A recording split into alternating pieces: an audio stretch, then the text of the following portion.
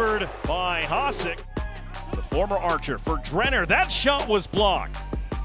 Graeme Hossack stepped in front of that one. He'll give a run for Anderson.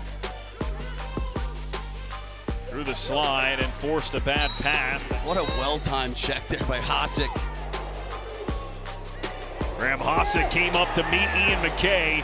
Got him with the body, then with the stick. The ball was on the ground, taken by Connors. To cover up, but then still is able to keep his stick up. Graeme Hossack came up to meet Ian MacKay. Got him with the body, then with the stick. The ball was on the ground, taken by Connors. Rolls on Ratliff, picked up by Hossack. Yeah, Graeme! Ooh, he is taken down hard, and Ghitelman alertly pops out of his crease. Oh, what a nifty little turnover caused by Graeme Hossack. He was fifth in the league in that category, a nominee for Defensive Player of the Year. They trusted to Kyle Jackson, Ratliff, and Hossack harassing him. They've got him trapped on the end line, and he gives it away. Bouncing around, and Graeme Hossack secures it.